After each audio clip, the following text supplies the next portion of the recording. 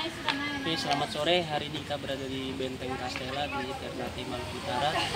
Ada banyak peninggalan sejarah yang bisa kita gali dan memberikan wawasan kepada peserta didik. Salah satunya kehidupan kita modelan ketika Sultan terbunuh. Peristiwa 28 Februari 1570 menggambarkan awal mula perlawanan rakyat Ternate terhadap Portugis. Ketika raja yang bernama Sultan Hairun dibunuh dengan cara yang licik oleh Portugis kita bisa menggambarkan kegela- ke, kekelaman masyarakat Ternate ketika sosok yang sangat dikagumi dan sangat agung mati terbunuh. Kemudian yang menarik, Lawan. ini momen yang disebut sebagai reaksi masyarakat Ternate setelah Sultan Hairun terbunuh. Dipimpin oleh anak beliau bernama Sultan Babullah pada 28 Februari 1570 terjadilah perlawanan rakyat Ternate dipimpin oleh seorang anak yang memang memiliki rasa kecewa karena ayahnya dibunuh oleh bangsa asing. Selain karena dia membela harkat martabat bangsanya dalam konteks bangsa Ternate.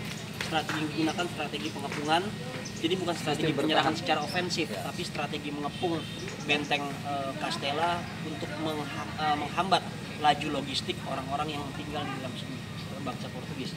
Dan yang eh, selanjutnya ini ada satu fakta sejarah menarik yang perlu disampaikan kepada peserta didik melalui ruang-ruang kelas bahwa sejarah Indonesia bukan hanya sejarah ketertindasan bahwa sejarah Indonesia bukan hanya bicara kita mengalami kekalahan terhadap bangsa asing sehingga menjadi inferior tapi ada kisah-kisah superior yang dibangun dari bangsa ini dan itu memang benar terjadi dalam konteks masa lalu. 28 Desember 1575 ini satu peristiwa ketika Portugis takluk menyerah tanpa syarat kepada masyarakat Ternate yang dipimpin oleh Sultan Babullah. Narasi-narasi ini perlu dibangun sehingga kejayaan masa lalu kita akan bangkit dan ya kita menjadi superior sebagai satu bangsa, bukan inferior eh, di bawah bayang-bayang bangsa asing. Nah, ini salah satu gambarannya ketika Sultan Babullah mampu menaklukkan Portugis angkat kaki untuk angkat kaki dari tanah Portugis angkat Ternate. kaki dari Maluku Ini Utara. bagian dari Maluku Utara betul. Ini bagian terakhir bagaimana Sultan Baabullah pada 31 Desember 1575 kan memberikan ruang kepada Portugis untuk keluar dari eh, Ternate.